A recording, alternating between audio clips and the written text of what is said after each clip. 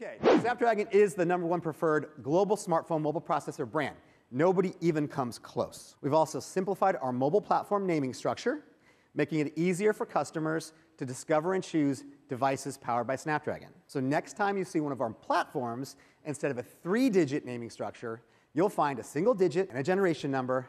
We define premium flagship smartphone experience as exceeding users' expectations every time. We, as a company, we believe in this vision that we're going to have everyone and everything intelligently connected. And Snapdragon is going to play a very important role. Number one in 5G technology across modem and RF. Number one AI performance per watt. Artificial intelligence, it's an incredible technology. The true scale of artificial intelligence is going to happen at the edge. Number one in Wi-Fi 6, Wi-Fi 6E. Number one in camera, and many more. The mobile technology is going everywhere. We're going to be the company focused on connecting billions of devices. There's no question in the industry today about the growth of the cloud. If you believe in the growth of the cloud, you're going to believe there's a company like Qualcomm connecting all of those devices to the cloud. You always know about Qualcomm and mobile.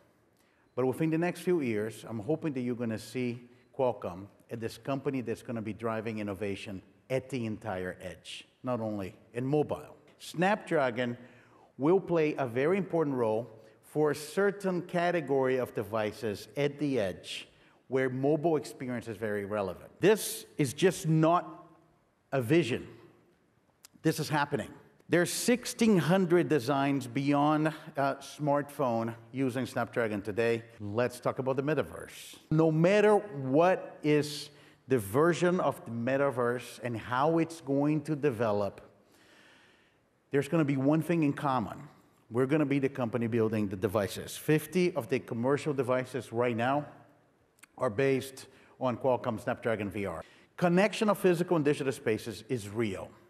And digital twins are happening across many industries. Folks, how are you doing? Very good to see you here at the Horizon Workrooms. I wish you were in person with us in Hawaii, but I am uh, super excited to meet you here in the metaverse. Meta and Qualcomm. We actually been working on this when nobody thought was possible. We have a conviction, and that's why we start investing in the fundamental technologies to make devices for the metaverse about 10 years ago, because we believe it is the next computing platform and it's going to be as big as phones. The car is one of the end markets that is going to the biggest amount of transformation. When you add connectivity to the car, you change the business model of the auto industry substantially. The car become a hub for distribution of services and media, gaming. Car companies are moving to become technology companies. The car is a connected, advanced computer on wheels. And this is what we built.